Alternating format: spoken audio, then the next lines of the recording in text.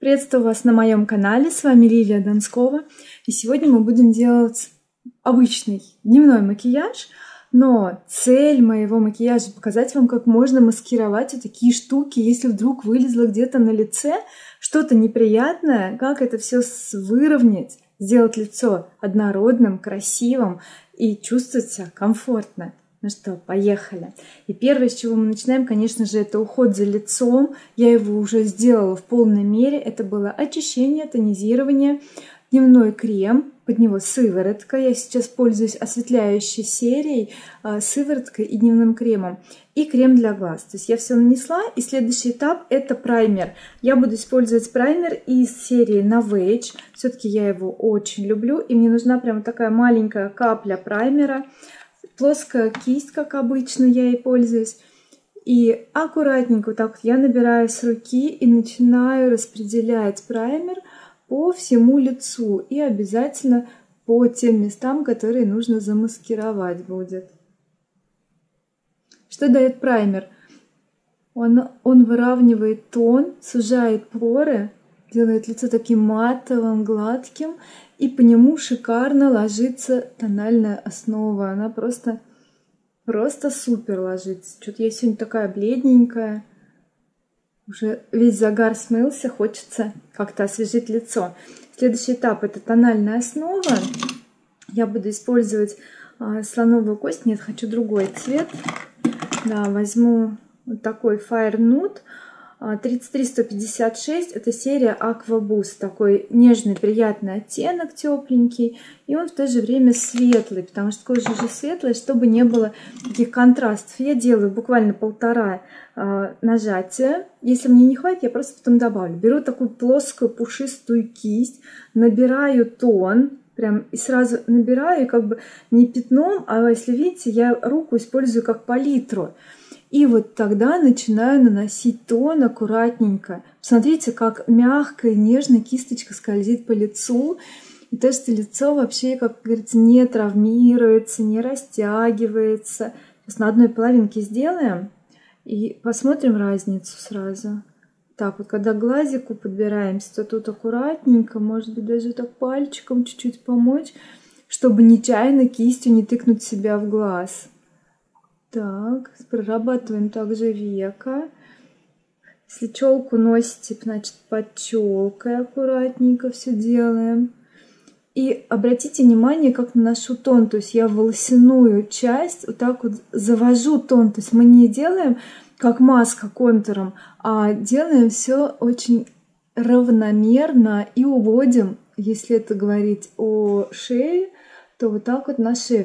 То есть у вас лицо должно вот так вот перед зеркалом всегда крутиться. То есть вы не просто прямо вот так смотрите и делаете. Нет, вы вращаетесь, вы смотрите, как вы распределяете, что вот не было границ. Сразу все это растушевываете, растираете. Если хотите, сразу добавьте, как только первый слой подсох, сразу чуть-чуть второго. Так, половинку носа. Так, все сделаю. Вот смотрите, вот просто нанесла тон – кстати, сразу померка этот прыщ, который вылез в необычном месте.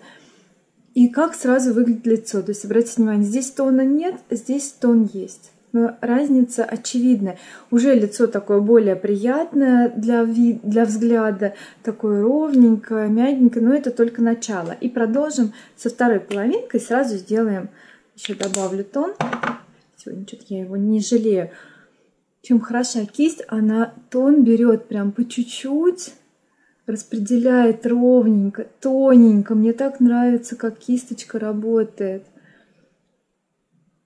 Я уже так привыкла, что я никакими вот блендерами, там, губками, спонжиками, пальцами, я ничем таким не пользуюсь, только только кистью. Ее и постирать удобно быстро. Как часто я кисть стираю, тоже задают вопросы многие.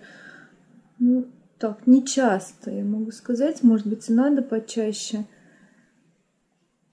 Ну, раз в неделю. Может быть, побольше.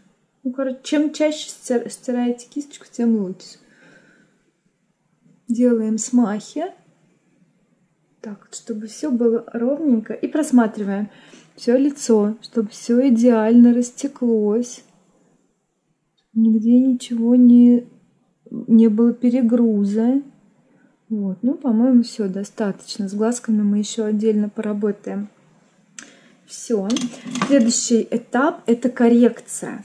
Я вам покажу сейчас корректор, в который влюбилась. Он из серии Зиван. Такая вот палеточка, маленькая такая. И в ней два оттенка корректора и пудра.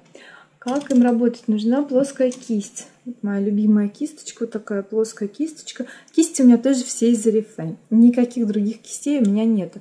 Вот смотрите, если нам нужно перекрыть синячки, то мы используем вот этот розовенький корректор. Если у нас пигментация коричневая, то мы используем вот этот вот желтенький корректор, да, ну, как бы там прыщики всякие. То есть сначала я прохожусь, вот мне нужно убрать синеву под глазами, чтобы не было синяков. Я беру аккуратненько, нахожу вот этот источник синего цвета, откуда семафорит, когда фингальчик. У меня тут вена проходит. И у вас тоже. У кого-то сильно видно. У меня кожа очень тонкая. Сильно видно прям. Так. Опять набираю второй глаз. Видите сразу разница? То есть всегда смотрите, как круто. Прям глазик сразу высветлился. И я не уводила далеко. То есть я убрала только вот источник. Вот, мы его убрали, и тут сразу все высветлилось.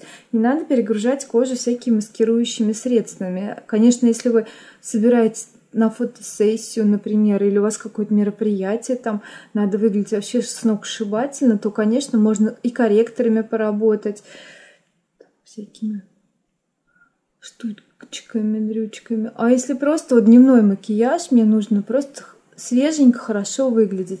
Зачем мне перегружать лицо? Так, теперь берем чуть-чуть, кладем на эту зону пятна. Капельку. Вот, смотрите, и он сразу становится невидимый. Самое главное вообще вам рекомендация, не кладите блеск. Никаких блестящих теней, никаких хайлайтеров на местах, где у вас воспаление, потому что это будет сиять просто как светофор издалека. Теперь маскируем все пятнышки коричневые. Вот у меня, например, коричневое пятнышко. Я его беру аккуратненько, шлеп, шлеп, шлеп, а краешки растаскиваю, шлеп, шлеп, шлеп, краешки, ну там пудра еще сверху пройдет. Беру следующее. Раз, два, три. Вот чего они повылазили в таких местах? Не жилось им спокойно. Ну, чуть-чуть пальчиком можно или кисточкой прям аккуратненько. Тык-тык-тык-тык-тык. Ну, сверху пудра ляжет, будет вообще круто. И вот еще.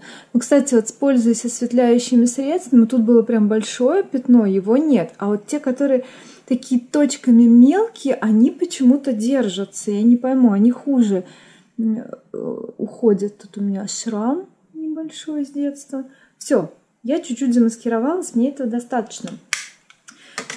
А, еще одна, один лайфхак расскажу. Вот смотрите, а, если у вас тип кожи это увядающее лицо, то есть ярко выражены согубные складки, что с этим можно сделать?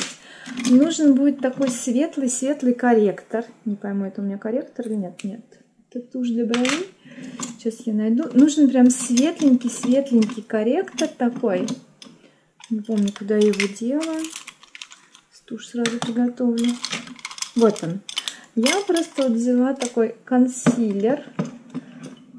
Чем светлее, тем лучше. Вот, вот такой у меня консилер, тоже Зиван. Он идет с кисточкой, губкой. И вот он совсем светленький. То есть, смотрите, все, что у нас упало, провалилось, нам надо вытащить.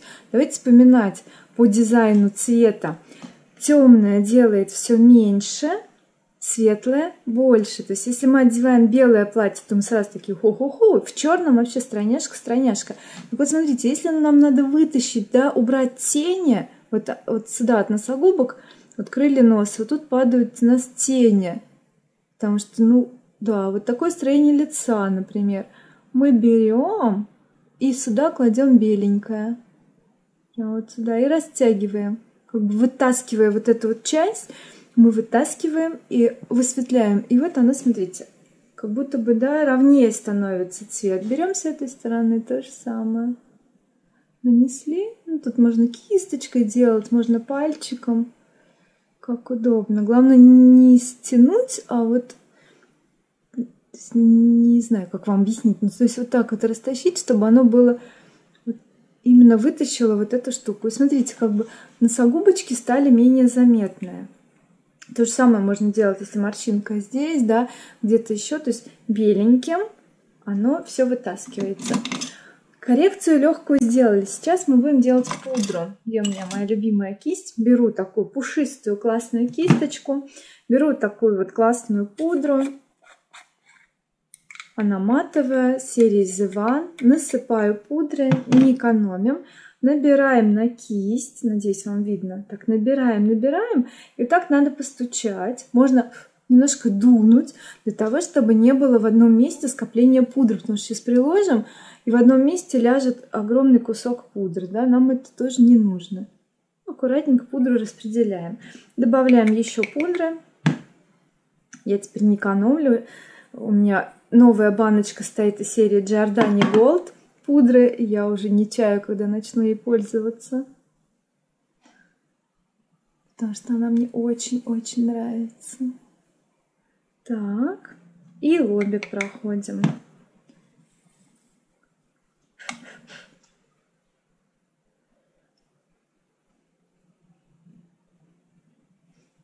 Все. И сейчас делаем румяшечки.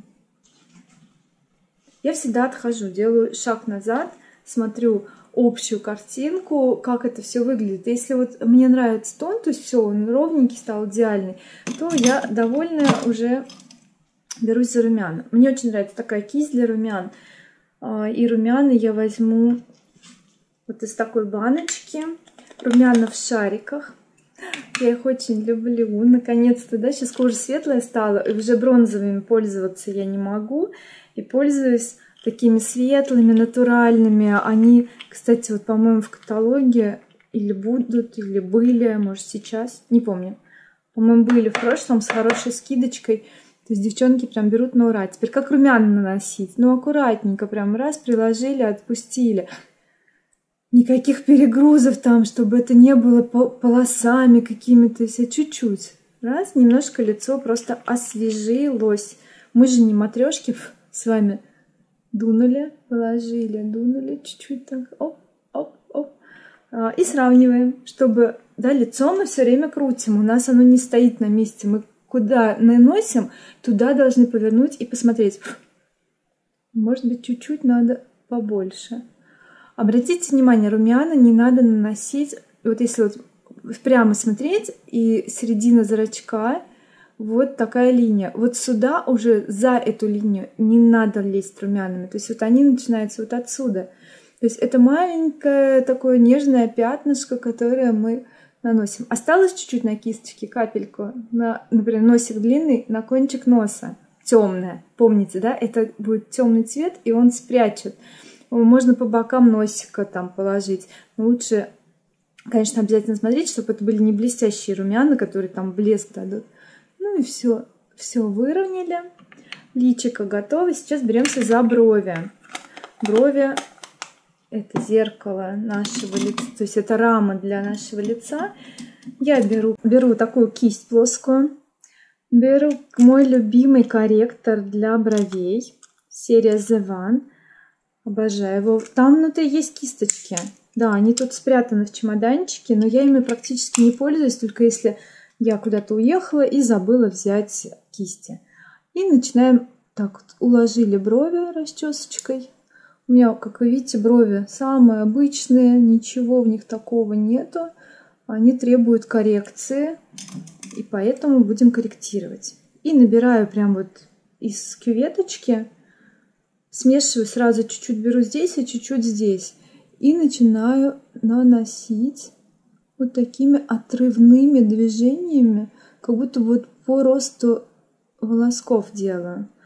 Вот, дальше уже набираю только темный цвет, сейчас поближе стану, и начинаю прокрашивать верхнюю линию брови, довожу вот до момента, когда мне нужно, и делаю изгиб. Чем удобно вот эта кисть, то что она такая упругая, жесткая, очень послушная. А, это кисть из обычной коллекции. Тут же делаю низ. Раз, два, три. Вот так вот я увеличиваю брови чуть-чуть, искусственно прокрашивая прямо вот под бровями этим же цветом. Смотрите, бровь становится сразу шире. И этого не видно. То есть вот так вот раз-раз, хвостик. Самое главное, хвостик вниз не уведите брови, да, вовремя его закончите, не надо его делать слишком длинный. То есть бровь, она вот тут должна закончиться, если проложить линию между, то есть от края, да, от крыла носа, край глаза, и вот тут заканчивается у нас эта линия, чисто визуально, все можно определить. Так, сравниваем брови, всегда смотрим, о, какие брови!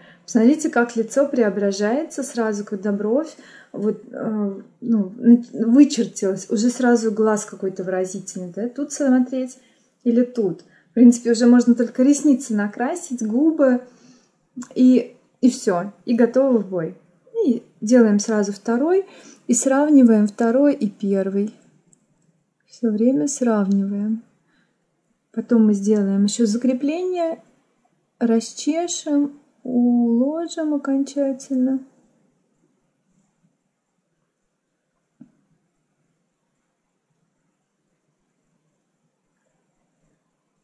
Главное еще правильно держать кисточку. Видите, как я ее поворачиваю?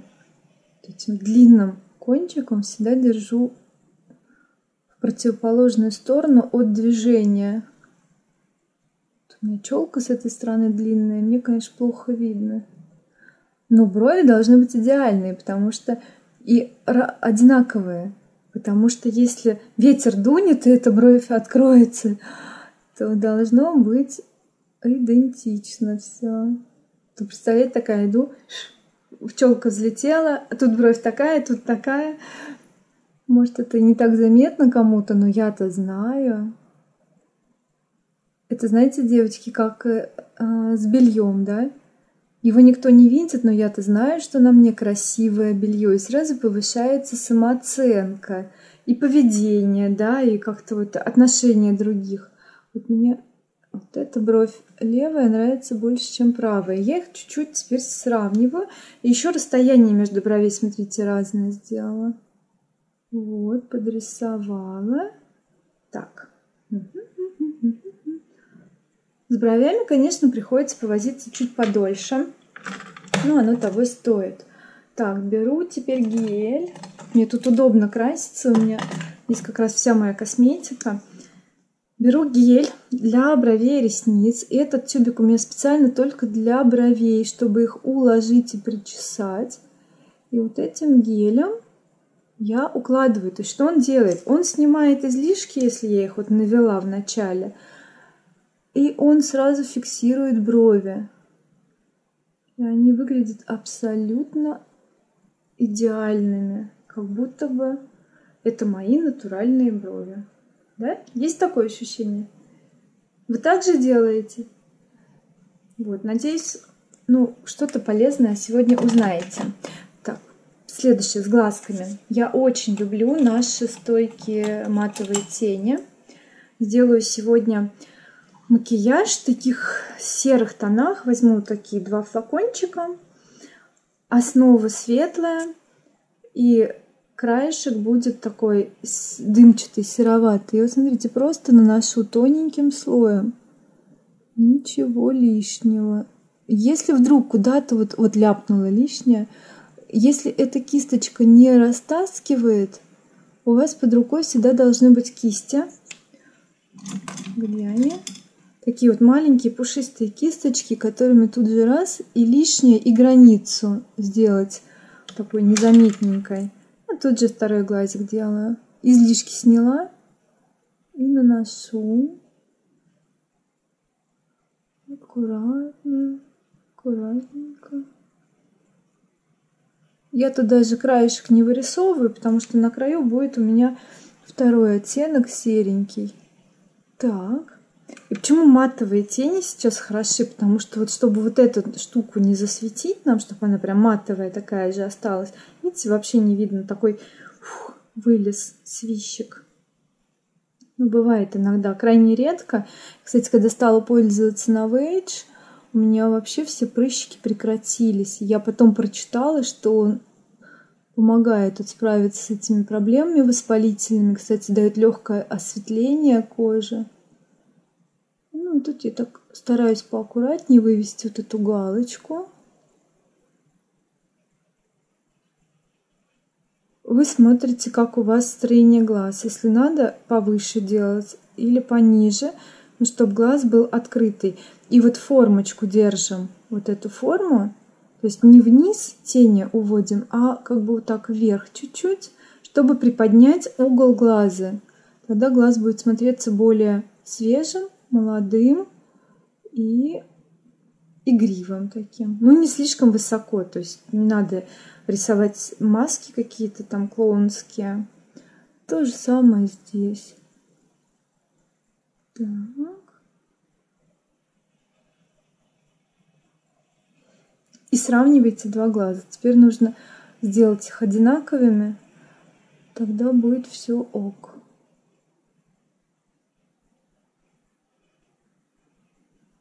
Так.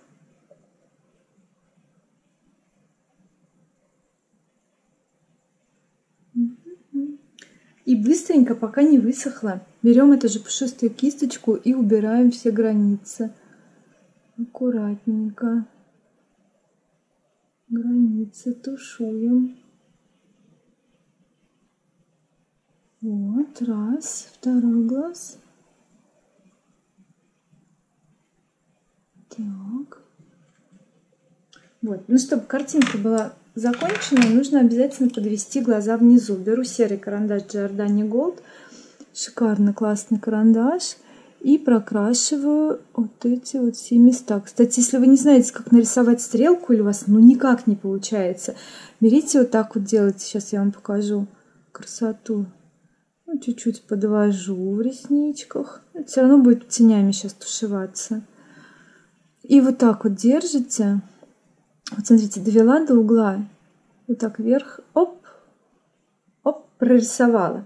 Очень прикольно. Теперь что дальше делаю? Беру тут стрелку, рисую, рисую, рисую, рисую, рисую, рисую. И вот сюда ее увела. То есть вот он. Получилось, как будто бы я снизу помогла поднять глаз, сделала такую стрелку. Далее заполняем вот это вот пространство, которое у нас осталось светлым. Оп, глазик поднялся. Видите, да, визуально? Ну и стрелочку дорисовываем. Такими отрывистыми линиями я соединяю их друг с другом. Заполняю уголочек. И делаю второй глаз тут же. Вот. Получился такой кошачий интересный глаз. Прорисовываю нижнюю часть в ресничках. Подняла вверх. Оп, одной линии прям.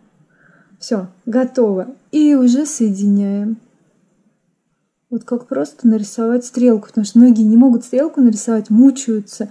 То туда не вышло, то туда. Но, конечно, если у вас века нависшее, то вам со стрелками совсем по-другому работать. Там технология совсем другая. Можно вообще без стрелок обходиться, кстати. И еще хочу сказать, не делайте слишком острый карандаш. То есть он не должен быть тупой, но и не слишком острый, потому что вы можете как бы поцарапать там глаз. Слишком тонкая линия будет резко. Все-таки карандаши, они любят такие мягкие плавные переходы. Вот теперь сравниваем. По-моему, все одинаково. Сейчас тенями доработаем. А для того, чтобы поработать тенями, мне нужна будет вот такая вот плоская кисть. Палеточка моих любимых теней Very Me. Скоро, кстати, будут новые тени. Видите, я активно пользуюсь. Мне единственное не нравится дизайн палетки. Она вот вся как-то ободралась, некрасивая. Я люблю все очень красивое, ну, как бы выбирать не приходилось. И сейчас, что самое интересное, я возьму такой вот кофейный оттенок и им проработаю вот эту вот стрелочку, несмотря на то, что она Тут у нас серая, но он такой коричнево-серый оттенок, что прекрасно сочетается вот с этими матовыми тенями. И я чуть-чуть, тут не надо много, прям капельку прорабатываю, растушевываю. И вот эту стрелочку тоже растушевываю чуть-чуть. Вот. вот то, что, то, что должно получиться. Как бы не одна линия, а легенькая тушевочка идет. С этой стороны то же самое. Раз, два, три, раз, два, три.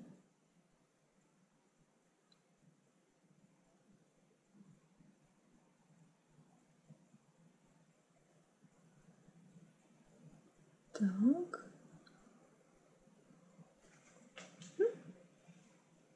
Так.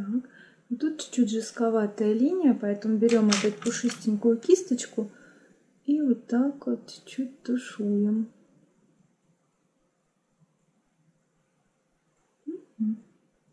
И в уголок нужно положить тоненький, тоненький такой акцентик. Беленький берем другую чистую кисть. И светленький вот такой вот маленький блик мы кладем в уголочек.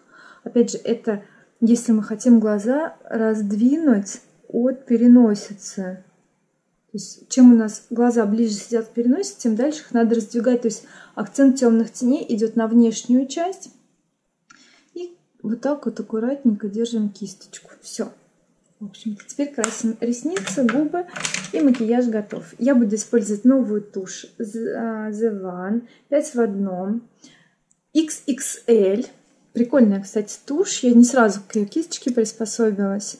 Ну, у нее кисточка чуть-чуть измененная теперь, не как вот была в 5, 5 в одном. Она чуть-чуть удлинилась. Ой, мазнула. У нее ворсинки как будто бы стали чуть-чуть длиннее в нижней части. Но кисточка достаточно удобная. Сразу, да что же я сегодня ляпаю? Потому что болтаю. Когда болтаю и крашусь, конечно же, разные макияжи получаются. Так. То, что ляпнули, не пытайтесь сразу побежать стирать. Дайте высохнуть. Сейчас я вам покажу, как это убрать легко и просто. Не пугайтесь. Так. Я всегда делаю 2-3 слоя.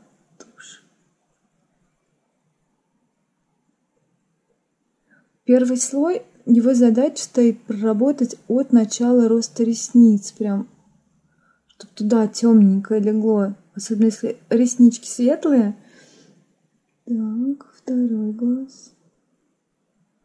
Он уже подсох, и мы с ним вот так вот оп, работаем. Так, чуть-чуть набираю тушь. Пока этот сохнет, я нижние сделаю.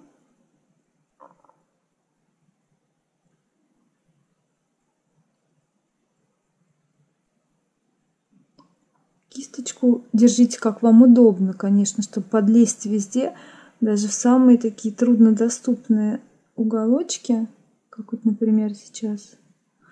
Так, ой, спутала. Хорошо распутывает реснички тушь, ложится прям аккуратненько. Мне нравится.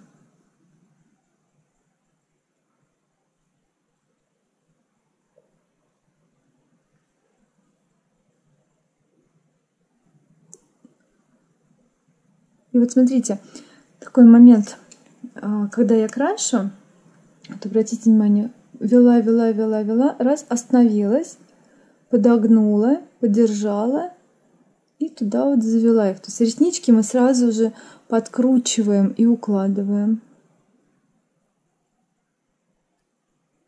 И следим, чтобы они не спутались. Вот, вроде бы все окей. Угу. Теперь берем вот эту щеточку, которой я причесывала брови. Где она у меня? Щеточка, отзовись. Потеряла щеточку. Вот она. Все, пропажа нашлась. И вот этой щеточкой, которой мы и реснички можем разделять, и брови, мы берем аккуратненько и снимаем киноляп. И вот тут внизу чуть-чуть дотронулась. Все, магия. И ничего, как говорится, лишнего. Так, все, вот у нас готов макияж глаз, бровей. Ну, такой достаточно выразительный все-таки получился макияж. И сейчас я сделаю губы. А, покажу вам помаду. Новую матовую.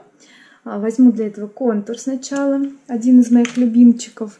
Такой красивый кофейный оттенок.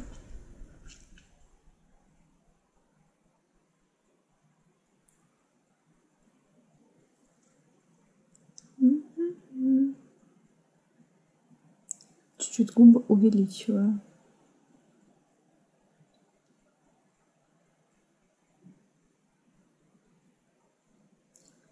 Так.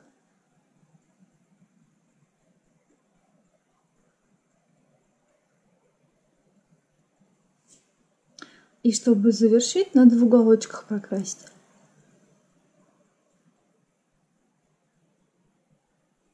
И теперь затушевать всю, всю поверхность. Немножко.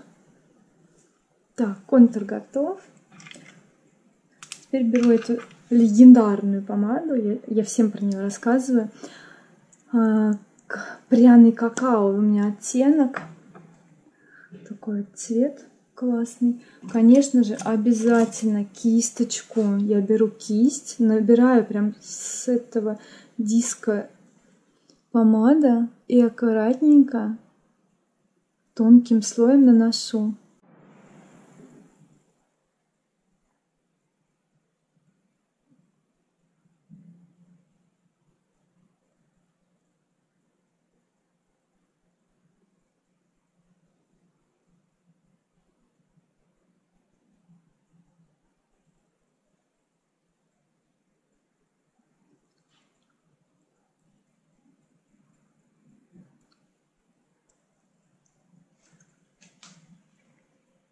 Вот такой натуральный какао напиток у меня на губах. Ну, очень классная помада. Чем мне она понравилась, то что она не сушит губы. Я очень переживала, что будет сохнуть губы, что будет мне некомфортно, но на самом деле все окей. Вот такой вот легкий макияж. Показала вам несколько лайфхаков. Пишите в комментариях, что понравилось, что было полезное. А может быть, какие-то вопросы есть, я всегда на них отвечаю. Может быть, есть какие-то идеи для новых макияжей. Пишите, будем обдумывать, как это все отснять и показать э, сразу на деле. Подписывайтесь на канал, лайк не забывайте поставить и нажимайте на колокольчик, чтобы получать оповещения о наших новых видео. С вами была Лилия Донскова. До новых встреч. Пока-пока.